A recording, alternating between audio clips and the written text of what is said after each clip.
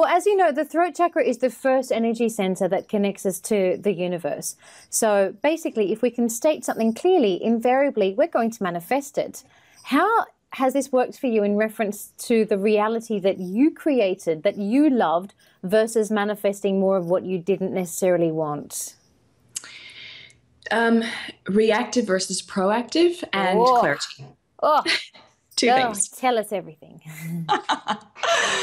well, I think a lot of us get, um, whether it's unintentional or just accidental, we get into phases or cycles where we we live reactively, mm. and this is where things just come into your path and you don't actually think whether you want them or not you just deal with them mm. as they come mm-hmm. um, so that's one thing and then clarity as well. So right around that time when i was in the house and i was sort of looking around myself and thinking I, i'm not so sure about my living space anymore. Mm-hmm. um, I, I just kind of up until that point had just lived. You know i was just doing the events because i thought that that was cool. Mm-hmm. like i kind of liked the people i was around but i never really looked at it from is it right for me? Mm-hmm. and i was just working for tony and thinking is this actually where i want to be? I never really asked those deeper questions um, until when i came to australia for the first time and i was run, running his date with destiny event in um, gold coast and after the event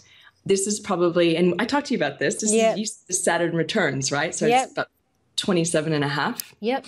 I was out on a boat in um, the, the breakwaters up, you know, in Brisbane, and it was after the event, and it was some of the the team that was there at the event, but there was also some very high powered people. So there was, gosh, there was like an oil tycoon's son, there was a journalist. It was just a really weird mishmash of people, mm-hmm. and I was on this boat with them, and I heard that thing again, you know, average of the five people, and in that moment, I was staring at these people.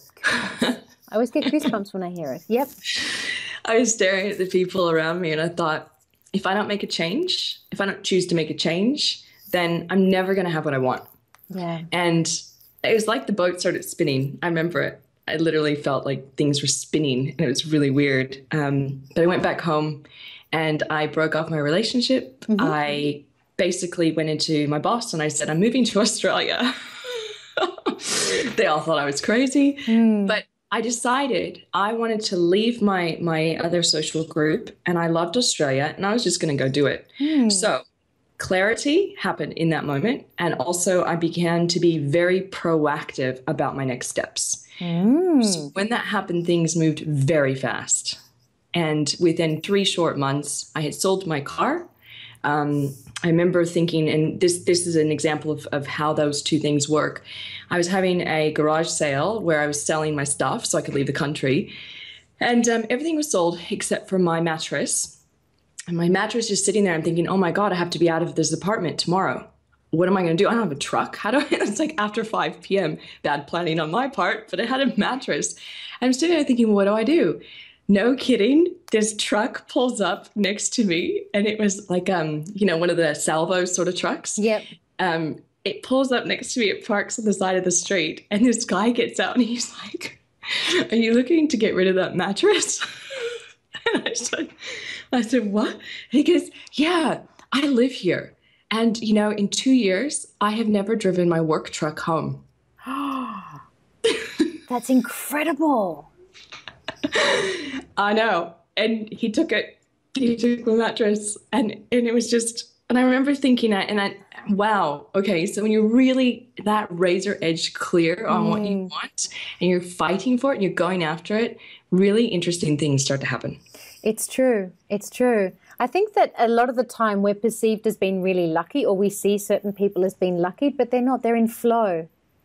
Because yeah. when you're in flow, you don't have to force things. And when you're in flow, you're so clear that you jump on opportunities when they present themselves. You don't second guess. You don't lament about the past. You don't worry about the future. You're just there. You're very present and in the flow. I love that story. Mm. It's, wow. It's, yeah. There's oftentimes parts of my life when um, I want to get back to that.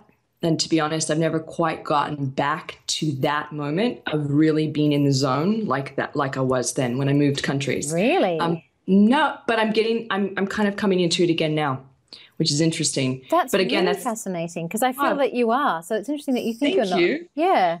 Yes and no. Yes and no, but not there yet, not to the point. And you know why, though, Patty? It's just because over the last five years, I've just kind of lost clarity.